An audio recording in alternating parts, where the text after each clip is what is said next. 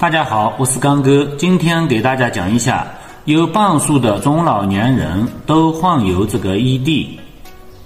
有关研究表明，中老年男性他是患上这个 ED 综合症的关键性的人群。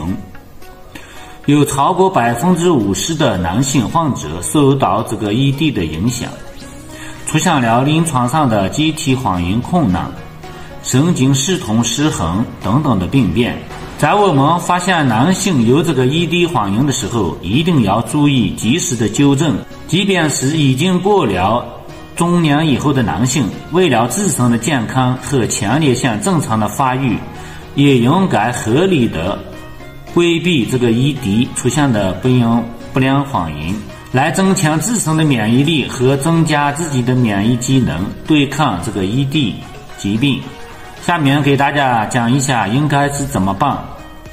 虽然有半数以上的中老年男性都受到这个 ED 疾病的困扰，但是也不能阻止男性的自然欲望。所以在发现自己出现了这个 ED 的情况下，要及时的进行身体的检查，改善不良的生活习惯。第二点就是，中老年人虽然因为经历的原因，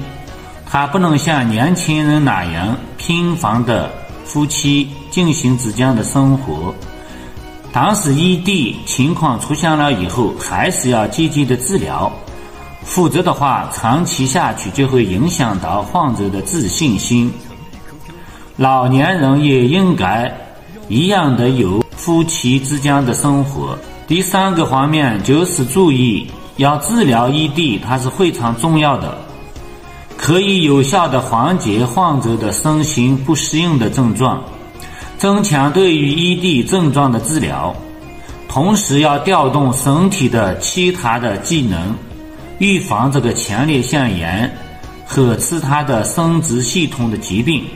有效的对抗 ED 的障碍。今天这个话题就给大家讲到这里，觉得对你有帮助的话，请给一个大大的赞。我们下次见。